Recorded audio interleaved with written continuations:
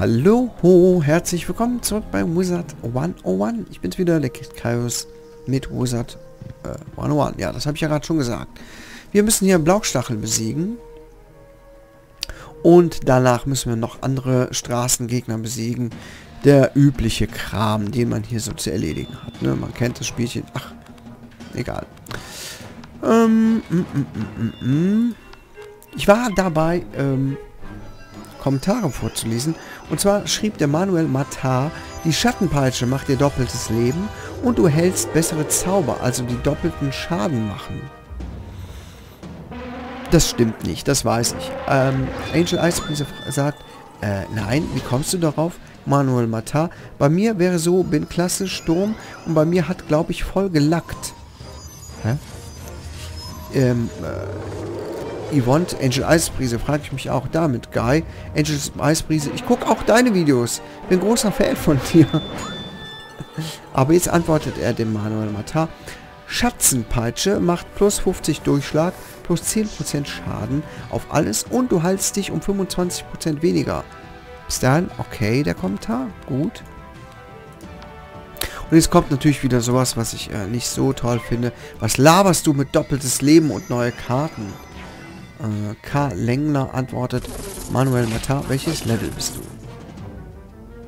Manuel Matar antwortet nochmal in einem anderen Kommentar, die Schattenpeitsche macht dir doppeltes Leben. Damit geantwortet, macht es nicht. das heißt, nach diesem Kampf machen wir mit den nächsten beiden Jungs hier mal die Schattenpeitsche mit ins Deck. Ne? Gucken wir uns das nochmal live an. Wobei ich natürlich weiß, dass ich nicht doppeltes Leben dadurch bekomme. Ich habe dann nicht äh, 7000 Lebenspunkte. Ach Quatsch, 8000, über 8000 Lebenspunkte. Das ist leider nicht so. Wäre natürlich cool. Plus 50 durch Stechen, Durchschlagskraft. Was? Moment. So, wir sind gleich soweit. Plus 10% nochmal Schaden. Ist jetzt nicht so viel, ne? Ähm, und ich heile mich 25% weniger. Also geht eigentlich so, ne? 10% mehr Schaden hält sich auch in Grenzen, ne? Und ich heile mich 25% weniger. Und durchstechen. Das ist gut, wenn jemand äh, Schilde drauf hat, ne?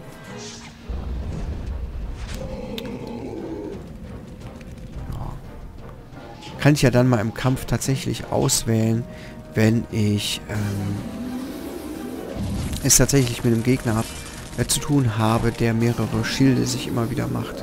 Das ist dann ganz gut, wenn ich das im Boss-Deck habe. Dann sage ich, okay, du machst die Schilde, dann mache ich jetzt hier einen Schattenzauber. Aber wisst ihr was, wir rüsten den jetzt einmal aus, damit wir den auch mal dabei hatten. Okay? Schattenzauber. So, Schattenpeitsche, jetzt bist du auch einmal dabei. Hm, wo bekam ich nochmal die anderen Schattenzauber? Ähm... Genau, im Turm der Mondfinsternis. Gucke ich mir das nochmal genauer an. Hier nach.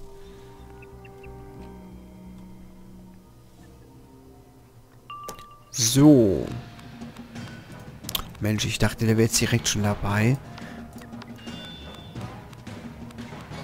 Das können wir auch einmal wegmachen plus 10% mehr Schaden. Naja, ist jetzt nicht so viel, ne?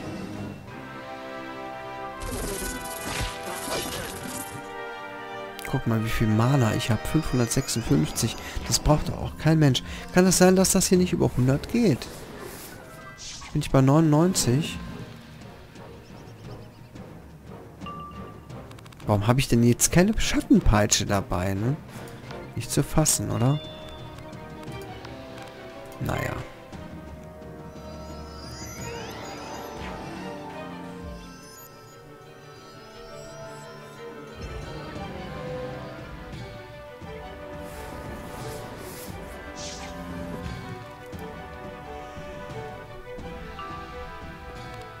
Ach, ich brauche ja einen Schattenpip dafür. Stimmt ja.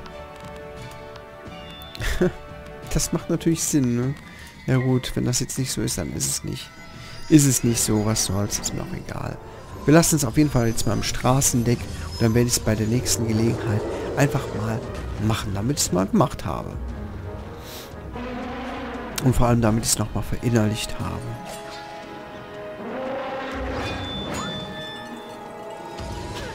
Ja, dann wäre das, wäre das vielleicht doch gar nicht so schlecht gewesen, auch bei dem Zauber, wo der Typ den, das Turmschild eben drauf hatte, ne?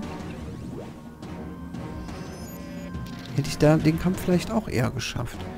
Ich muss mich da, Leute, ich muss mich da erstmal so ein bisschen reindenken in das Thema. So, wir machen jetzt mal die Schattenpeitsche. Ich könnte die zwar jetzt schon kaputt machen, aber es ist egal. Wir machen es jetzt mal. Und wenn ich den Kampf verliere, ist auch egal. Ich spiele jetzt mal ein bisschen damit rum und warte vor allem auf den Rückschlag.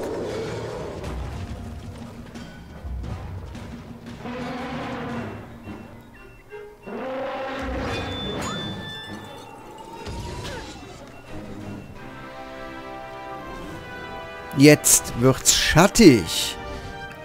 Yeah. So. Doppeltes Leben ist Quark. Ich könnte jetzt natürlich angreifen, aber ich passe jetzt mal. Ne, ich heile mich jetzt mal. Minus 25 Prozent.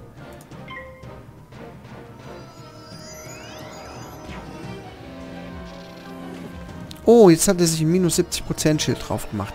Das ist sehr gut. Das ist wirklich sehr, sehr gut. Denn jetzt habe ich tatsächlich das plus 50 durch Stechen. Das hilft mir jetzt in dem Fall tatsächlich sehr, sehr gut. So, minus 25% sind 1013. Ist schon ordentlich viel weniger, muss ich sagen.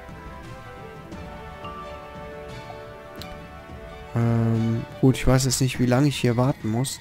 Wie lange dieser... Wie lange hält der eigentlich an? Das ist eine gute Frage. Aber wisst ihr was? Das interessiert mich jetzt nicht, weil der jetzt hat er das minus 70% Schild drauf. Und wenn ich den jetzt nicht damit besiege, mit meinem Schattenzauber, habe ich tatsächlich ein Problem. Ich glaube, ich lasse den Schattenzauber tatsächlich auch mal im Straßendeck einfach drin. Für den Fall der Fälle, ne?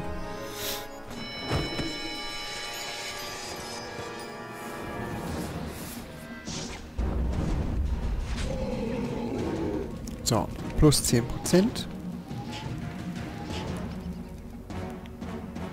durchstochen. Damit haben wir nur noch minus 35%. Und er ist tot. Bei, in der nächsten Runde. Oh, der ist jetzt tot. Minus 10 Rückstoß. Plus 10. Okay.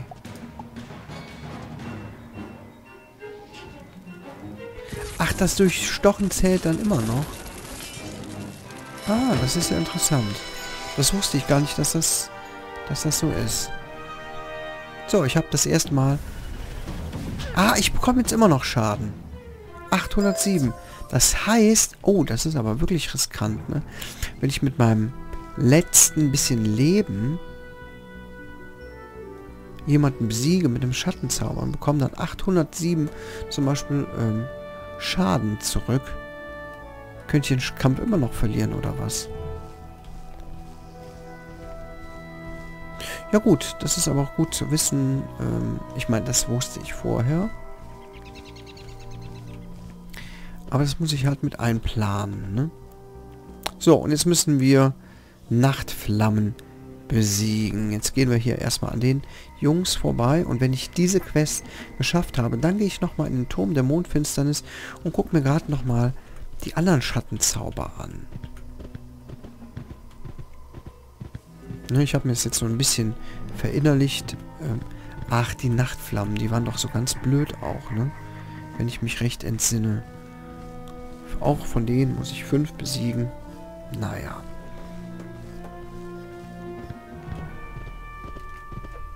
Hier hüpf. Apropos hier hüpf. Kennt ihr alle die alte Biene Maya Serie von früher? Ne? Bestimmt, bestimmt. Kennt ihr die neue Biene Maya Serie? Kennt ihr den neuen Biene Maya Film? Was sagt ihr eigentlich dazu? Was haltet ihr davon? Mal so ganz einfach so in den Raum gefragt, ohne irgendwas zu bewerten.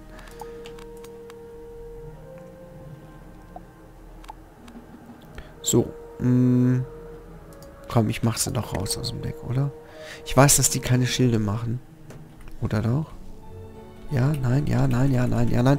Es kann sein, dass sie doch welche machen. Ach, ich weiß es gerade gar nicht. So, komm. Und hinein ins Vergnügen. Nachtflammen. Fünf an der Zahl müssen wir besiegen.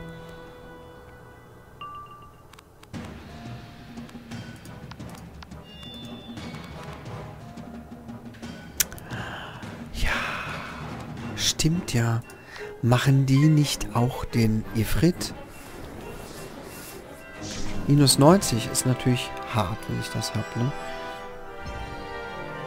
Egal. Es sind, es sind nur Straßengegner, die ich auch schon ein paar Mal besiegt habe. Was soll... Was soll's? So. Black Pro Gamer hat 9 Daumen hoch. 9 Daumen hoch. Äh, ich betone es nochmal bekommen für folgenden Kommentar. Und spiel nicht immer mit Ifrit, der ist nicht mehr gut. Benutzt mal mehr den Feuerdrachen, macht Schaden und ist dazu einfach für mehrere Gegner. So würde ich spielen. Das ist doch völliger Quatsch. Als wenn der Feuerdrache besser ist als der Ifrit. oh Mann, Leute. Ich komme doch voran. Also, ich habe einfach nicht aufgepasst, dass da irgendwie die Leute sich schon Schilder gezaubert hatten. Aber ansonsten ist auch alles cool. So, das hier machen wir mal weg. Du merkst, glaube ich, nie, wenn er Schilder auf sich macht, oder? Er hatte minus 70 Feuer. Das sollte man sehen. Das sollte man sehen, schreibt er. Das sollte man sehen. Ja, normalerweise ähm, spielt man das Spiel ja auch nicht und Let's Play es gleichzeitig, ne? Das ist immer noch ein sehr, sehr großer Unterschied, mein Lieber.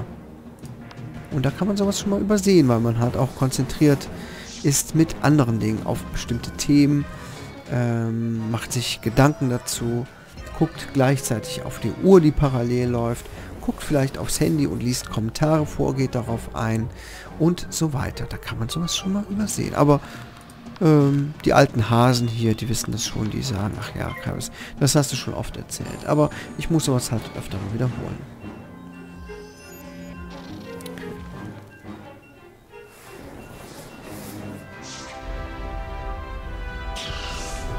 PS4-Player.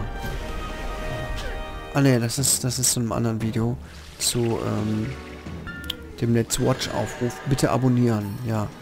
Natürlich nicht abonnieren. Wenn ich sowas schon sehe. Wird definitiv nicht abonniert. So, können wir jetzt?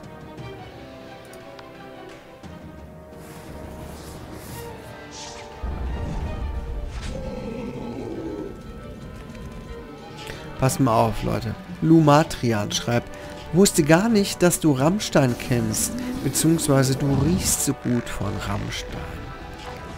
Alter Schwede. Ich kenne Rammstein sowas von gut. Ich habe alle Lieder von denen auf dem Computer. Ich habe früher die CDs von denen gehabt. Ich kenne alle Lieder. Ich kann fast... Na, die ganz neuen, da bin ich tatsächlich nicht mehr so, so drin, aber ich kann alle Lieder ansonsten mitsingen.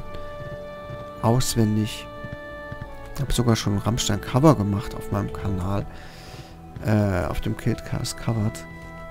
Ich bin ein riesen Rammstein-Fan. Ich war, ähm, als meine Frau noch schwanger war, also vor über zwei Jahren, war ich mit ihr auf einem Rammstein-Cover-Konzert. Echte Rammstein-Konzert, naja, ist ja immer innerhalb von Minuten quasi ausverkauft. Aber ähm, auch das war schon mega geil. Also wenn hier jemand Rammstein kennt, dann bin ich es. Das möchte ich aber mal bitte betonen. So. so, ähm... Meli HT. Äh, Meli T. Schreibt, Kaius, du bist der Beste, ganz ehrlich. Ich liebe deine Videos. Das ist viel, viel, äh, sehr, sehr nett. Vielen Dank. Gamer61TS antwortet, Hi, mache auch Wizard 101 Videos. Schaut vorbei, wenn, schau vorbei, wenn du willst. Den Kommentar lösche ich. Was soll das? Ich finde das ein bisschen dreist, oder? Was soll das denn? Solche Leute, ne? Und ich lese es auch noch vor. Ich bin echt nett. Da ist wieder der nächste Kommentar von ihm. gelöscht.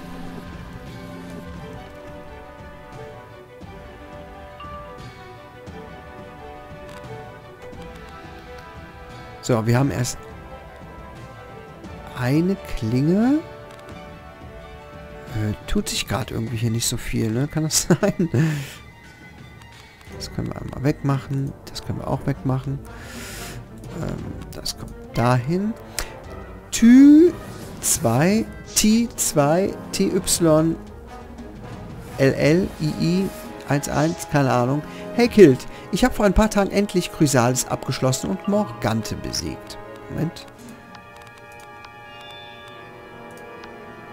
Ähm, ich muss sagen, dass äh, der Kampf sehr einfach ist. Es gibt eigentlich keine Regeln, die den Kampf wirklich beeinträchtigen. Insgesamt war Chrysalis sehr einfach. Man hat ja eigentlich immer einen Begleiter dabei, der einem bessere Werte gibt. Naja, dir viel Spaß noch in Chrysalis. Es wird noch ein bisschen dauern, bis du auch in Polaris ankommst. Ja, leider. Haben wir es hier bald. Die Folge ist schon wieder vorbei. Ich werde wahnsinnig. Aber den Kampf machen wir noch zu Ende, ne? Ist ja wohl klar. Also so einen klaren Straßenkampf werde ich jetzt nicht ähm, folgentechnisch unterbrechen. Das wäre wirklich zu läppisch. Auf die zwei, drei Minütchen kommt es dann auch nicht mehr an.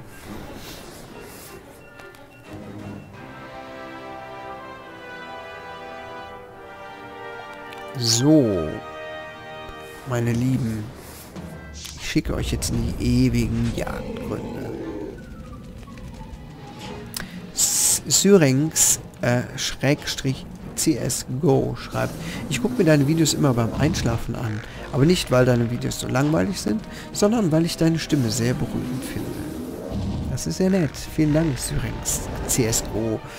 Ähm, dann sage ich mal, gute Nacht, schlaf gut und träum was Schönes. Bis zum nächsten Mal. Ciao.